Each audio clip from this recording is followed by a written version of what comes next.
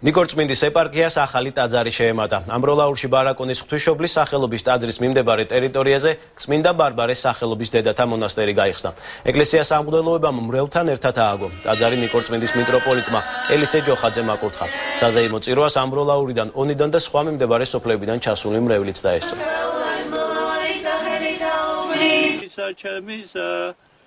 ჩვენ მყოფებით ახლა წმინდა ბარბარეს სახელობის ტაძარში, რომელიც ახლა იხსნება, ამ წუთებში იხსნება ბარაკონის მიმდებარე ტერიტორიაზე და იმ მთელი რაჭის ეპარქიის, ნიკორწინის ეპარქიის მრევლი ზეიმობთ ამ წინოელ დღესასწაულს.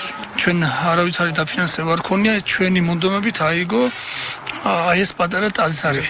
თვითონ რაც შეეხება ბარაკონის აი ამ შემოგარენს, არა ესე სახელწოდებით შევიდა უკვე ისტორიაში, რომ ბარაკონის ყოვლადწმინდა ღვთისმშობლის სახელობის ტაძარი, წმინდა დიდმოწამის სახელობის ბარბარეს ეკლესია და წმინდა მენელ საცხებელ დედათა მონასტერი აი ამ კომპლექსში განიხილება. დღეს კიდე მშენებლობის პროცესში ვართ.